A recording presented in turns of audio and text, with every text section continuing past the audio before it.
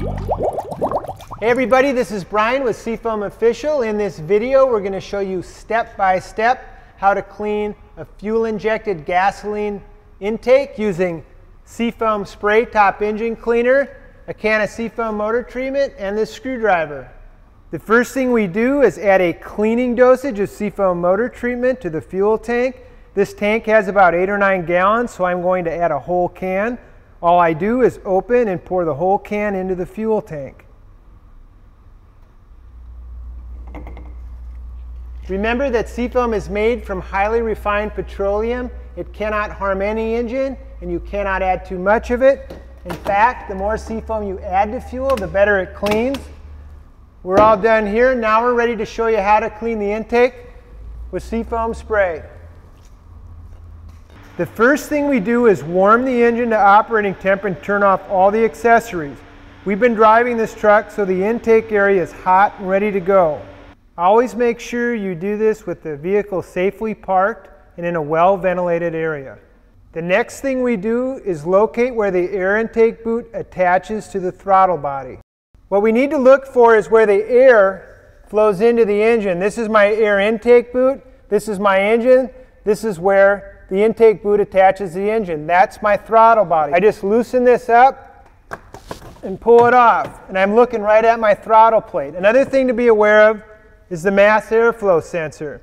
Never apply the spray before the mass airflow sensor. This one's way over here, way upstream, but sometimes they're down here. Just make sure you never spray toward the mass airflow sensor. Let me show you a clue why we recommend an intake cleaning like this at least one or two times a year, especially for gasoline direct injection engines or GDI engines where fuel additives don't wash over the intake valves.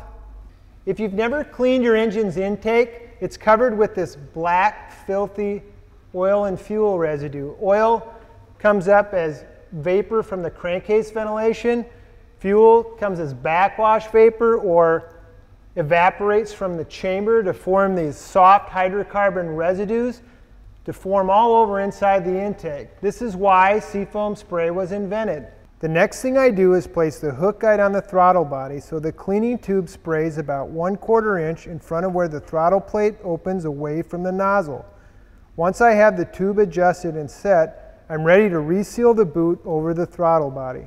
At this point, I'm going to instruct my helper to start the vehicle and hold the accelerator at 1000 RPM over idle spec while I spray the full can of seafoam spray into the intake. Think about this. I'm delivering a high concentration of petroleum cleaning solvency through the intake in a matter of four to five minutes. I'm all done with this can, so I signal my helper to shut off the engine. All I have to do now is remove the hook guide and tube and secure the intake boot to the throttle body while the engine hot soaks. So there you have it. We showed you how to use seafoam spray to clean the intake on this fuel injected gasoline engine. We let our chamber hot soak for 10 minutes. Now the last thing I do is I start the engine, I drive for five to 10 minutes to burn off all those hydrocarbon residues. And remember, we also have a cleaning dosage of seafoam in the fuel tank. That's going to continue to work through the injectors to continue to clean the chamber while we have it in the tank. Until next time, this is Brian with Seafoam Official. We hope you learned something. Thank you for watching.